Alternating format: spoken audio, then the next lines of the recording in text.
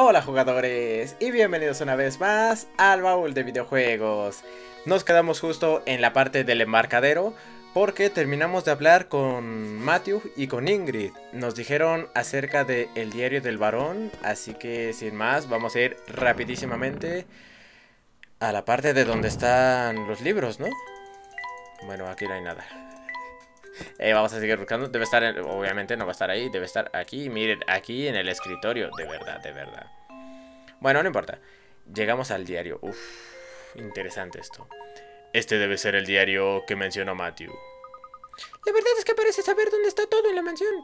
Pues, claro, Luke es el mayordomo. Me siento terriblemente incómodo leyendo el diario de otra persona. Pero debemos hacerlo por el bien de la investigación. Ojo. A ver qué nos dice. Es un trabajo extraordinario. Me recuerda a mi dulce violeta en vida. Trabajo extraordinario a mi dulce violeta. ¿Se referirá a Lady Dahlia? A Flora no le gusta nada. Siempre huye cuando se le acerca. Últimamente pasa mucho tiempo jugando cerca de la tumba de mi querida Violeta. No creo que llegue a acostumbrarse a la cosa, y no puedo culparla, ya que he modificado su personalidad.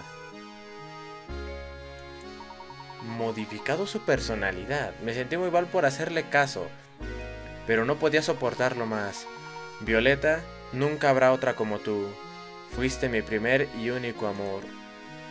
Lady Dahlia. ¿Que ha cambiado su personalidad? No sé a qué se refiere, pero es un dato evidentemente crucial. Hace unos días me desmayé y he estado en cama desde entonces. Siento que le he fallado a Flora. Solo espero que, cuando yo ya no esté, las gentes del pueblo cuiden de ella como lo he hecho yo. Debe de estar muy enfermo. Ay, no puede ser. No me queda mucho tiempo en este mundo. Ha llegado el momento de decir adiós a mi Flora. Ahora todo queda en manos de Shelly. ¿Quién es? ¿Quién es Shelly? Flora, espero que tu vida esté llena de felicidad. He indicado la ubicación del lugar secreto en una nota que he dejado a un viejo amigo. Espero que quien busque la manzana dorada encuentre la nota. Y deseo de todo corazón que esa persona haga realidad mi deseo más querido. Profesor. Una nota para un viejo amigo. Tenemos que localizar a esta persona. Pero, ¿cómo podemos localizar a esa persona sin más datos que el contenido del diario? Es lo que siempre digo. Una buena investigación empieza en la calle. Es evidente que tendremos que preguntar a todos los habitantes del pueblo al respecto. ¿Cómo? O sea, por supuesto, tiene toda la razón, profesor. Vamos, manos a la obra. Naturalmente, toda investigación necesita un cierto método. Empezaremos por Ingrid. Parece saber mucho sobre el varón. Pues la verdad es que sí, ¿eh? Bueno, a ver, fue... ¿O hay otra vez aquí ellos? Pero que, que estaban haciendo los tres ahí, que no estaban y ya están. No deje de avisarme si conoce usted a damitas casaderas en sus investigaciones. Otra vez, ¿de verdad que me dice lo mismo? A ver. A ver, que, nos está diciendo lo mismo de ayer, ¿no? Eh, sí, sí, sí. No, está diciendo lo mismo el profesor, el inspector Chelmy. Ah, venga ya, no. ¿Y Lady Dalia? Ojo. Eso de la personalidad. ¿Qué creen que sea? A ver, igual puede ser algo, algo tiene que ver con con Lady Violeta y Dalia, ¿eh? Ya que son idénticas. Cambio de personalidad. Oh, vaya. El profesor Latón, ¿verdad? Latón. Es Layton, señora. Ah, sí, profesor Layton. Tanto hablar de la mansión me ha puesto nostálgica, así que he decidido venir de visita. ¿Y cómo estáis vosotros?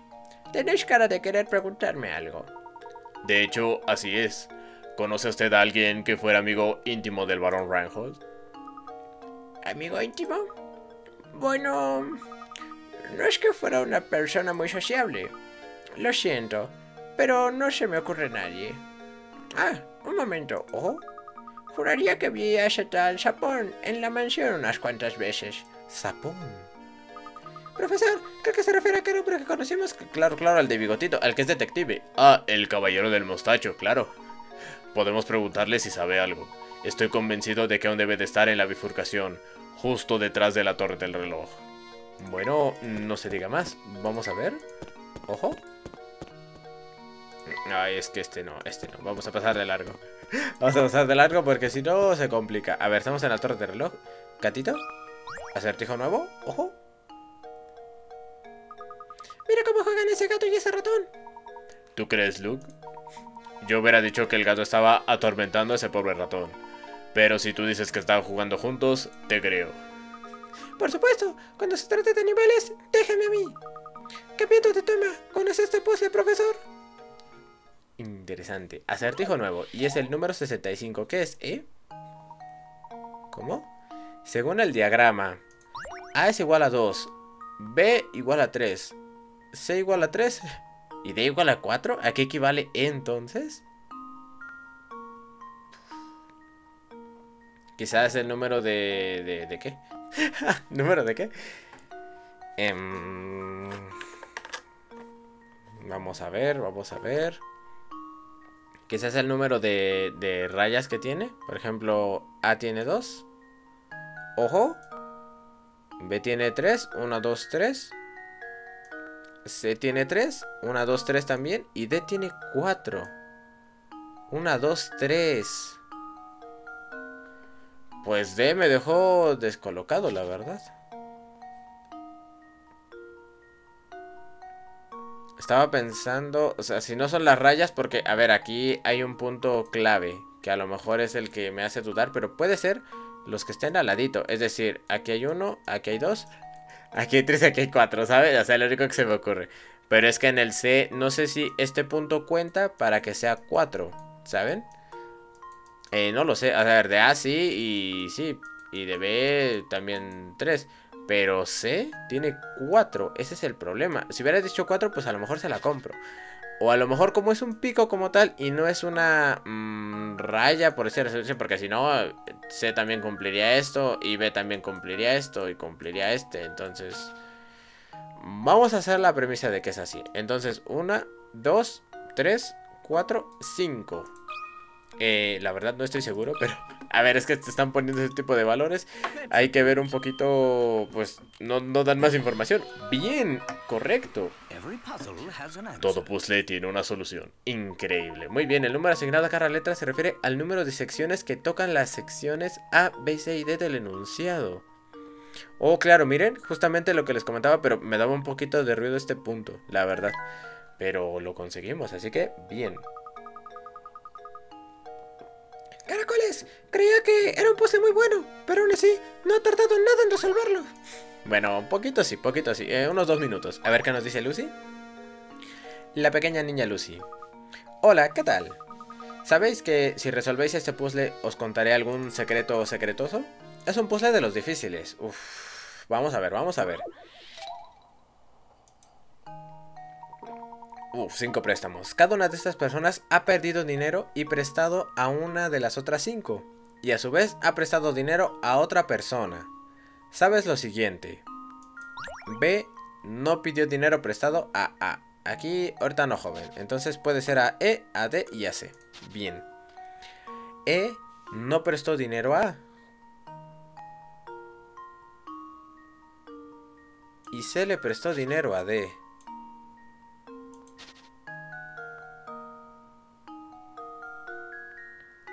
Si no prestó dinero a puede haberle prestado a B o puede haberle prestado a C. B pidió dinero prestado a A. Pero obviamente si, si pide dinero a A no puede prestarle. ¿Sabes lo que te digo? O sea, no puede prestarle. Entonces le debió de haber prestado... C le prestó a D. Entonces B no puede prestarle a D. Pues sí puede prestarle a C y sí puede prestarle a E. E no prestó dinero a A. Pues puede que sí se lo haya pedido. ¿Sabes? Eh, a ver, aquí es como la escuela, ¿no? O sea, B, C y E no están. Entonces, B, C y E, pues vamos a poner la D. Pues, pues, y, y- y lo que diga. Lo que diga la respuesta. A ver. Ojo. Ah, pues, ah, pues sí, ¿eh? A ver, era un poquito, un poquito confuso, la verdad. Eso es de prestó dinero a. La solución se hace evidente. Si sigues el rastro de cada préstamo, como se muestra en el diagrama. Pues. Habría que ver cómo era el préstamo. Sois muy listos. Eh, Sí, sí, sí, bastante, bastante. Bueno, acercaos que os voy a contar el secreto.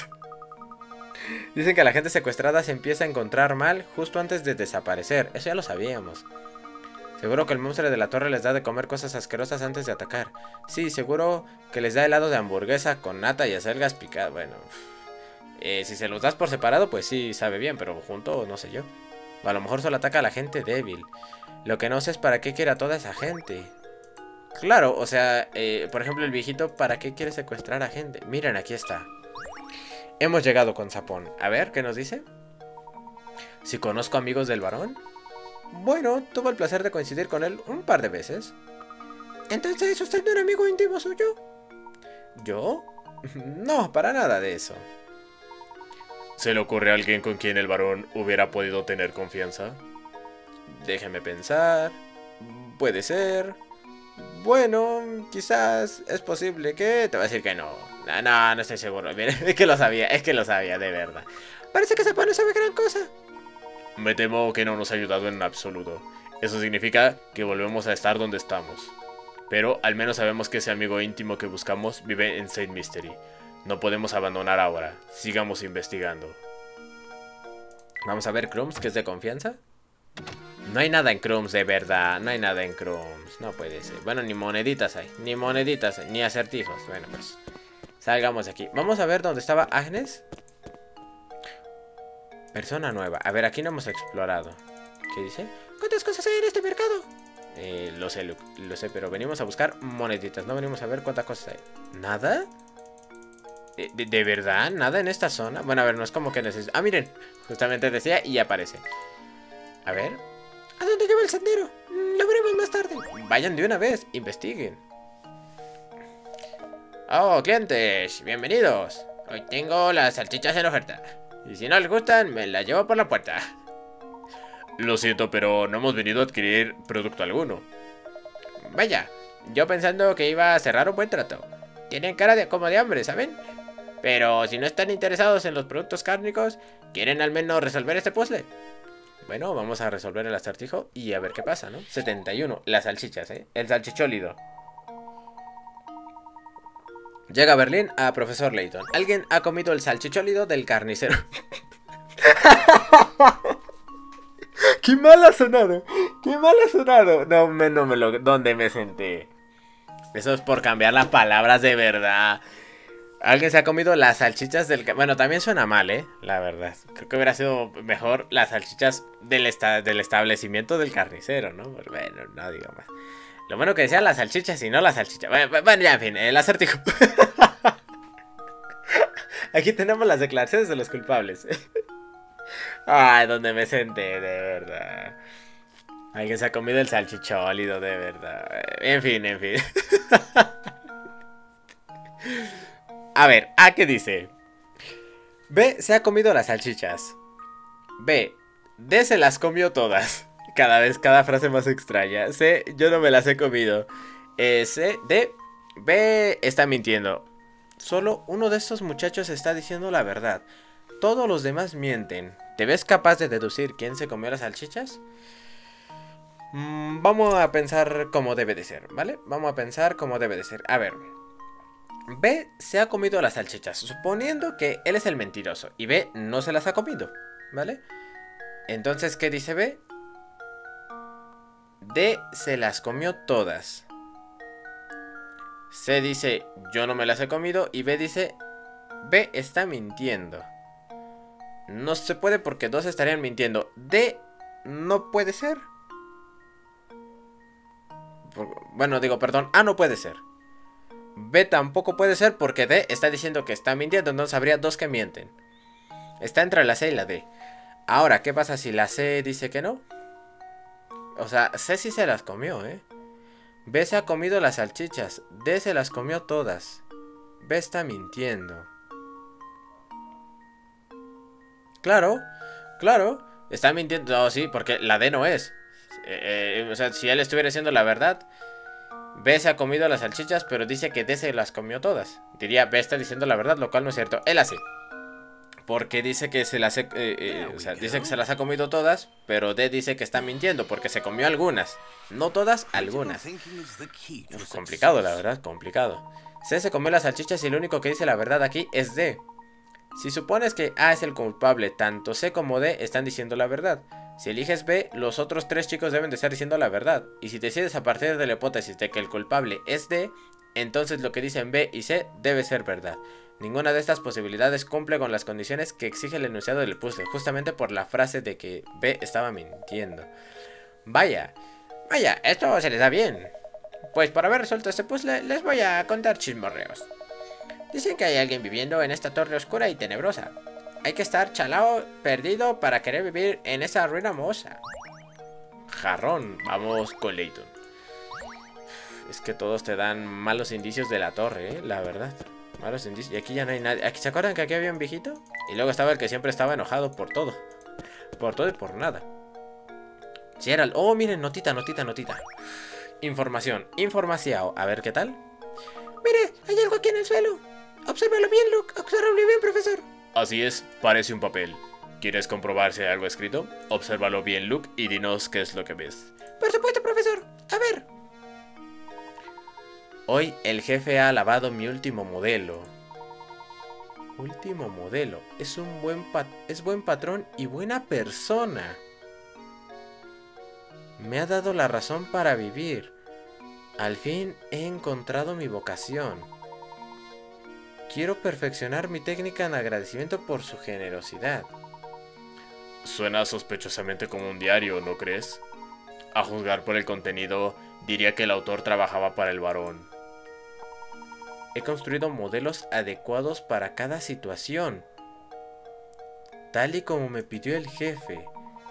Se me escapa una sonrisa cada vez que veo lo interesado que está. Ya no hay nada más. ¿Cree que esta persona construía maquetas? Yo creo que construía robots. No me lo estoy creyendo ni yo. No me lo estoy creyendo ni yo. Misterios, misterios misteriosos. ¿Será acaso que Raymond es un robot? Es un robot porque cuando encontraron eh, eh, tiene este este y Henry. ¿Serán robots? A ver, es mi teoría, es mi, es mi hipótesis, porque... Eh, a ver, está diciendo que diferentes personalidades para cada situación, que hay personas que les cambia la personalidad, em, sus obras. Claro, claro, o sea, si es un robot, digamos que se apaga. no sé, no sé, no sé, o sea, se apaga y obviamente pues... Eh, pero ¿para qué lo secuestra? O sea, ¿quién lo secuestra o para qué?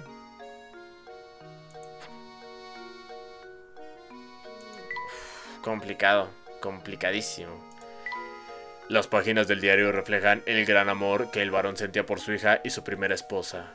Por otra parte, revela que el varón dejó una nota indicando la ubicación de la manzana dorada, en poder de un buen amigo. Quizás Ingrid sepa quién pueda ser ese buen amigo. Por desgracia, Ingrid nunca oyó hablar de la manzana dorada durante sus años de trabajo con la familia Reinhold. Nos ha recomendado que hablemos con Sapón, cosa queremos. Al parecer, incluso él podría tener algo interesante que decir. Tal como temía, Sapón no tenía nada útil que decir acerca de las amistades del varón. Se diría que tendremos que recurrir a la vieja táctica de salir a la calle y preguntar a las gentes del lugar. Es que de verdad es interesante lo que comentan. ¿Y quién es esta persona? Que hace personas o hace maquetas, no lo sé. Como no soy un aristócrata ni nada, nunca llegué a cruzar la palabra con el barón Reinhold. Bueno, hijo, me gusta hablar con vosotros, pero estoy cansadísimo. ¿Voy a echarme un rato? ¿No se encuentra usted bien? Es que mm, últimamente estoy agotado. Es por ese ruido espantoso de la torre, ¿sabes? Arma tanto alboroto que no puedo pegar ojo. ¿Sabe qué causa ese ruido? Verás, hijo, dicen por ahí que cada vez que se oye ese ruido desaparece alguien. Dicen que los desaparecidos se habían quejado antes de estar cansados. De todas formas, todos vuelven a aparecer enseguida, así que creo que solo son paparruchas. Como Raymond. Cuando se oye el ruido, alguien desaparece. Interesante. ¿Cree que ese ruido tiene algo que ver con el hombre que secuestró a Raymond? Puede ser, ¿eh? Entra en lo posible, ¿no crees?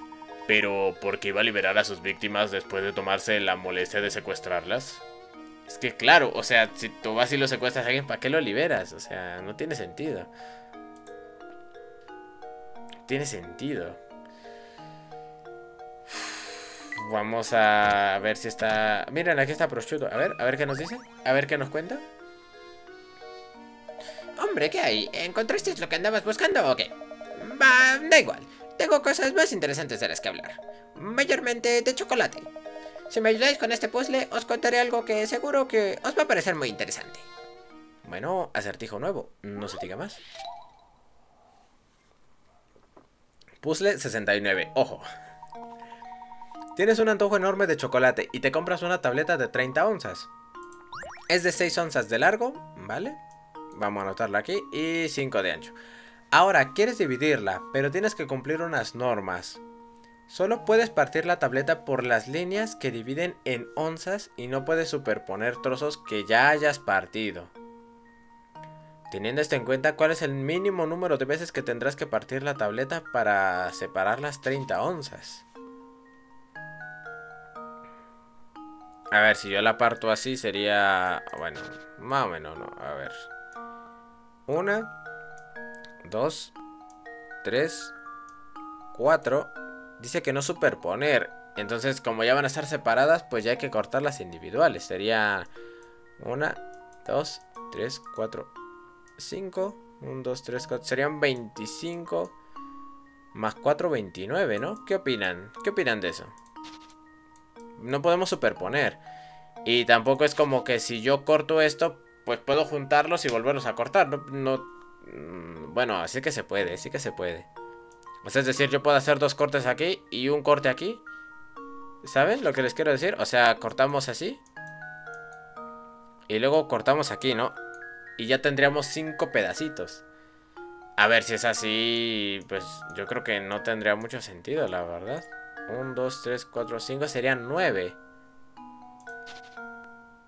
Pero no creo, porque dicen que no puede superponer los trozos. Me la voy a jugar con la anterior del 29. Y si no, pues es 9. Ya está, porque no le veo ningún sentido al... Es que el 9 es muy sencillo, la verdad. Oh, bien. Menos mal. Menos mal, 29. Otro puzzle resuelto. Eso es, si sigues las reglas establecidas en el puzzle no importa cómo partas la tableta, el número de trozos que tienes aumenta cada vez que partes la tableta. Claro, y hay que cortar mucho más. Empiezas con un trozo de chocolate, así que con partir 29 veces la tableta deberías conseguir separar las 39 onzas. Bueno, creo que es más fácil darle, darle 9 trozos y ya está. Ah, ahora lo pillo. Bueno, pues los que os iba a contar. Si queréis comer bien de verdad en Saint Mystery, tenéis que ir al restaurante de Crowton. Todo lo que hace está de rechupete. Unos estofados... ¡Ay, se me hace agua la boca! Mapamundi va para Layton, no se diga más. Bueno, pues lo dejaremos por aquí. Mañana iremos a Crowton, como comenta justamente nuestro amigo Prosciutto. A ver qué tal, a ver qué información podemos encontrar y también cómo podemos resolver este misterio misterioso de las notas que están quedando en el suelo. También, ¿quién está dejando esas por haber llegado hasta aquí. Si les ha gustado este video, no se olviden de dejar su bonito like, dejar su comentario y compartirlo con sus amigos. Y sin más, nos vemos mañana con un video nuevo del profesor Layton. Hasta la próxima aventura, jugadores.